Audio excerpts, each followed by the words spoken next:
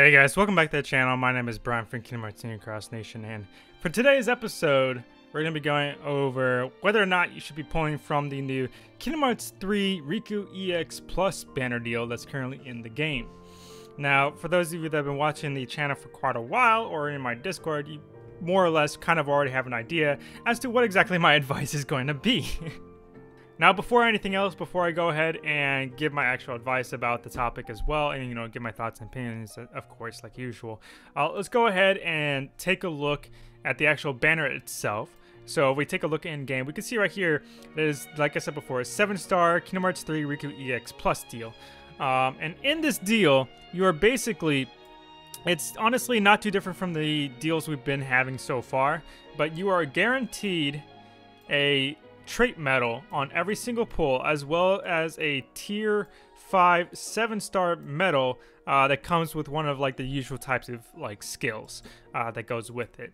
Um, and it, it's fairly typical as to what they've been so far. Attack boost 6 max, uh, defense 1, 2, and 3 max, 5 max engage 1, 5 max in Lux Plus, and triple threat 2. Pretty standard. But the main thing I want to point out for this banner though is that this is not a mercy pull, okay? It is not mercy, all right? Let me just underline that. It is not a mercy pull. Uh, so for those of you that were, may have been thinking that maybe like, oh, okay, I can actually get him now uh, fairly easily. No, it is not a mercy pull. So don't expect to actually be able to uh, get it anytime soon in any like first few draws or anything like that. And real quick, let's go ahead and take a look at the medal itself and see what it does. So this is what it looks like. It is a speed upright medal. Like I said before, it is tier 8. It is AoE, costs 6 gauges, has a 7 star total max multiplier of a 31.48 to a 47.39 deals 3 hits, and for 1 turn, it raises your upright strength by 3, your speed strength by 7 tiers, raises your guilt bonus by 100%, lowers the target's general defense, upright defense, and speed defense by 7 tiers, restores 3 gauges, deals more damage with 1 enemy left or 0 uh, raid boss parts left, and it does not affect counters. So essentially, as kind of like most people have been like saying uh, online already, this medal, this Kingdom Hearts 3 Riku EX Plus medal is basically almost like a tier 8 version of a Prime medal. Alright, so something I want to point out real quick before anything else is that in case you haven't seen it on Twitter yet or you don't have a Twitter, uh, they had announced last night that we are happy to announce a new anniversary extravaganza in celebration of basically JP's uh, third anniversary. All your past used jewels will earn you special campaign coins. That is the big thing I want to kind of point out right there. Also arriving, you know, it just says, announces the banner. The main thing that I'm confused about for this banner is is literally that sentence right there. All your past used jewels will earn you special campaign coin. I'm very confused about this. I know a lot of people have been saying that this is ripped straight out of like Dokkan uh, Battle, and I think some other game. Was it like Brave Exvius or something? This is basically ripped straight out of that. And from my understanding, what this is supposed to be is that the amount of jewels that you've used within a certain time frame uh, will be converted into like little tokens that you can use to redeem like pulls, basically like free pulls uh, within the game. Now, whether or not that's how Union Cross is going to do it, I have no idea. Uh, they did say campaign coins, which does give rise to possibly being a board of some sort instead. Uh, so we're gonna have to see how that goes.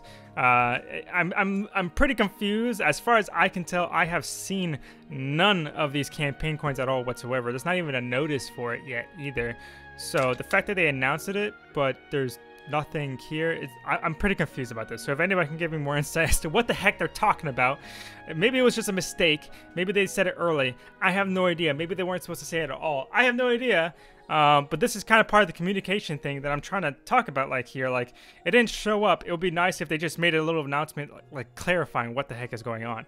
Um, if, if, if it was just said if it was just said prematurely, please just make an announcement saying it was prematurely, so that way me and many other players can get this off our minds. Like, what the heck is happening type of thing. This is exactly what I'm talking about in terms of communication.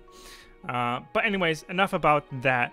Uh, in terms of the actual banner itself, though, what I would have to say about it is kind of like how I said before, it's not a mercy pull. So basically, don't pull from it. I said it before in the past, such as like with the Kairi EX Plus and Xion Plus deals, for example. Um, but any banner that is not a Mercy Pull is not worth pulling from. It is not worth the amount of jewels that you invest into it, and it is not worth the emotional investment that's worth uh, putting into it either. Okay, uh, you're better off to be honest, like this is not this is not going to be the first seven star tier seven or eight medal banner that we're going to get in the game. All right, it's not going to be the first one, nor is it going to be the last. in my opinion, you're better off just waiting until more show up. Um, ones that are actually Mercy Pull as well. Kind of like just how the Kairi EX Plus and Xion Plus uh, deals were. And to be honest, you're better off if you don't already have them already. You're better trying to get these two first before anything else because these guys are going to be the medals that actually help carry you through uh, most of the other content from here going onwards as well. Yes, I realize um, that medals such as like Kingdom Hearts 3 Riku EX Plus and stuff is pretty good, but it's honestly not not as like game breaking or anything as like we were kind of uh, secretly hoping slash fearing it might be just because it's a Kingdom Hearts 3 yada yada. The easiest comparison that most people online have kind of been comparing this medal to is that it's basically like a tier 8 prime medal.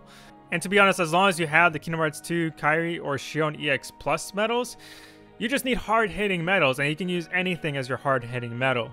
Uh, so these guys literally take top priority first. You can, uh, this is an easy skip for basically everybody. Don't forget as well that the Organization 13 quest is actually coming up pretty soon in about two weeks or so. So you might want to start saving for that for like starting now if possible. Uh, if you start saving now, remember if you participate in the survey that I went over in my last video, uh, you get 3,000 jewels just from participating in that, as well as you if you log in every day and do the missions and such. That's like an extra 3,000 jewels per week, so that's like 9,000 jewels right there. On top of, you can get up to a total of 5,000 jewels from the Organization 13 uh, event itself. So I'm I would assume you could very easily get about 2,000 worth of jewels uh, from the event, at, like more or less. The Organization 13 banner only costs 11,600 because it is falling price and Mercy pull, so it should be fairly easy to obtain if you start saving from now. On top of the fact that please keep in mind too that the Organization 13 banner tends to stay up for about a week or two, so you're still gonna have time. That's like an extra week or two of like saving jewels if you still need a little bit extra. So starting right now in terms of saving for Organization 13 would honestly not be a bad idea. Uh, chances are we might get like another banner or two within this next week or two but I am not expecting them to be anything significant enough that warrants pulling from um, unless it has like a guaranteed medal every single pull, kind of like how some of the prime medal banners have been so far. Uh, been so far. Other than that, if you enjoyed the video, please leave a like and subscribe and hit that bell button. It is the best way to know when to upload more videos such as this one. Uh, I would like to hear your guys' thoughts and comments about the Riku medal and the banner itself down in the comment section down, down below. But other than that, my name is Brian from Kmart Senior Cross Nation, and I will see you guys in the next video. Peace.